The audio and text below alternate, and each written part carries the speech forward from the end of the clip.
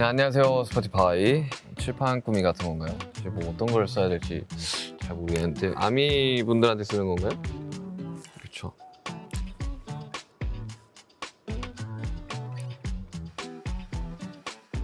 첫 번째는 디데이 타이틀 해금입니다. 사람 파트 2에 있는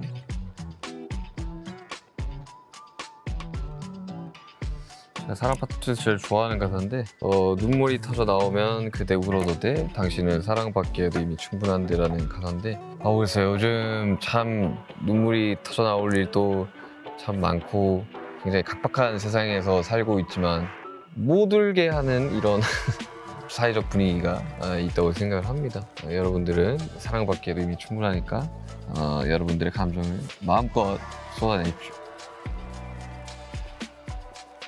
사실 요 한마디면 될 것 같습니다. 아미 보고 싶어요. 사실 저희가 일곱 명이서 투어를 할 수 없는 상황이라 사실 아미 분들을 이제 뵙기가 좀 어려운 상황인데 하루빨리 일곱 명이 다 같이 앨범도 내고 투어도 같이 또 할 수 있는 그런 상황이 하루빨리 왔으면 좋겠습니다.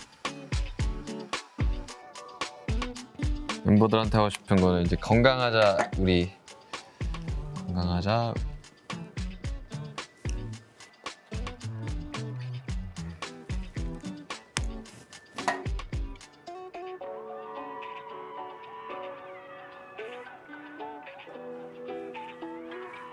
네, 이렇게 여러분들께 전할 메시지들을 이 보드에 써봤는데요. 어거스트 디의 첫 앨범 디데이 많이 많이 들어주시길 바랍니다.